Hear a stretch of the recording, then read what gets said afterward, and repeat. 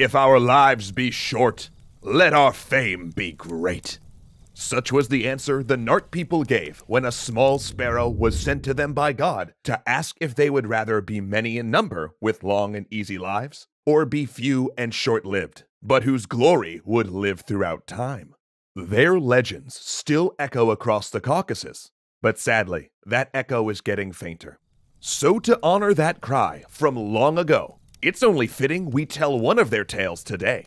We'll start with an old one, perhaps one of the first to be told the tale of a golden tree.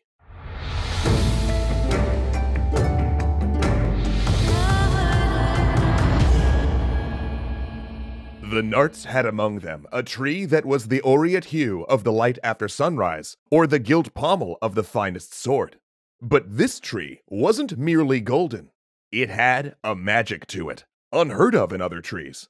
Any apple that began to sprout from it would be fully ripe by nightfall. And those apples wouldn't just be normal apples either. They were white as snow on one side, and of the richest, deepest red on the other. And any woman who was infertile if she ate the white side, would conceive a daughter with hair of the palest white.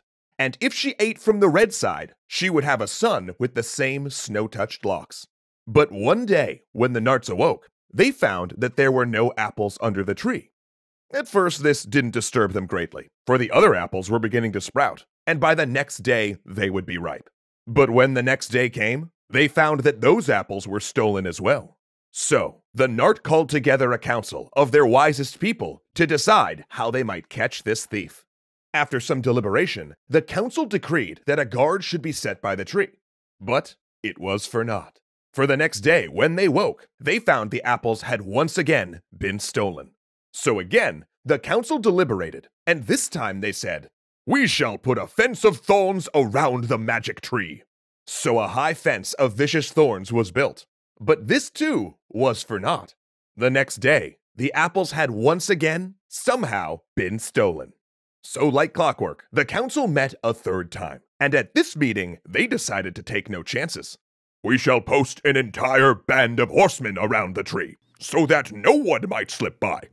And thus, a host of horsemen, each armed with weapons made for war, took up position around the tree. But even this, say it with me now, was for naught because the next morning the apples were gone again, and there was no trace of the thief. None of the horsemen could recall having seen anyone the entire night, and not a footprint nor hoof mark was found to indicate the thief's passage. But there were two brothers, known throughout all of the land for their prowess in battle, who said that they would sit watch. Legends say their arrows never missed their mark, and their swords never failed to bite. They were the Nart's last hope. And so as night fell, they sat by the golden tree and waited. After many hours, the elder brother began to doze off, but just as he fell deep asleep, the younger brother saw something through the gloom. It was three white doves descending upon the tree. He turned to wake his brother, but seeing that the doves were about to take off with the apples, he turned and shot his bow. His arrow wounded one, and blood flowed freely from it. Yet it still carried off its apple and escaped. He took out his kerchief and dabbed at the blood, then shook his brother awake to show him and tell him what had happened. Immediately, the elder brother sprung up and said they must follow this trail of blood to wherever the doves landed. And so they rode, mile after mile after mile, following a seemingly endless trail, until at last they came to the shore of the Sea of Azov. But that's where the trail ended, right at the waterline. So the younger brother turned to the older and said, if we turn back now, we disgrace not only ourselves, but our whole family. The dove came to this sea, and I will find them. Stay on this beach. Wait one year for me. If I have not returned by then, know I am dead. With that, the younger brother drew his sword and struck the waves with such a mighty force that the sea parted and he stepped onto the seafloor, reminding all of us at home that myths are metal!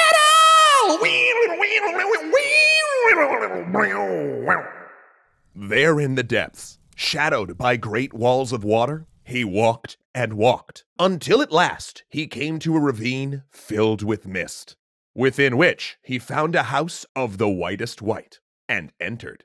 As he crossed the threshold, seven identical brothers appeared and began to follow him.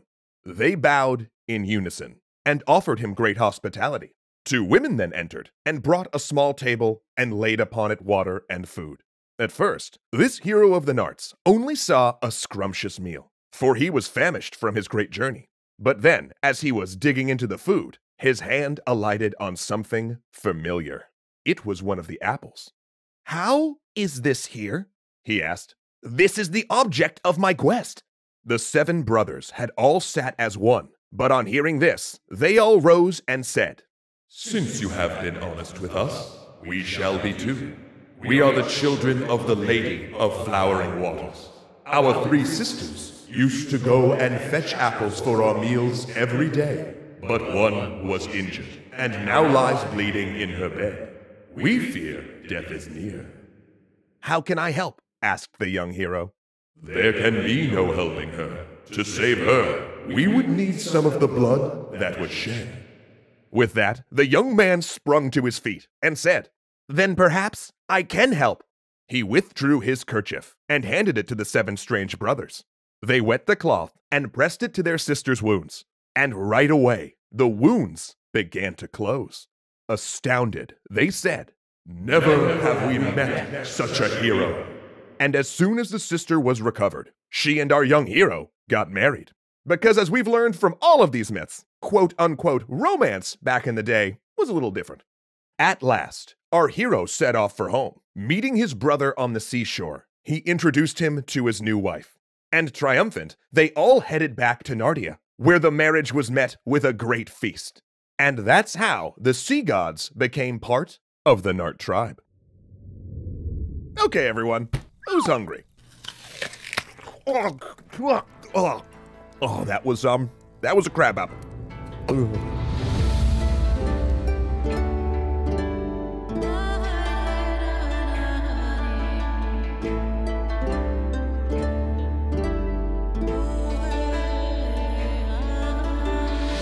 Legendary thanks to patron Kyle Murgatroyd.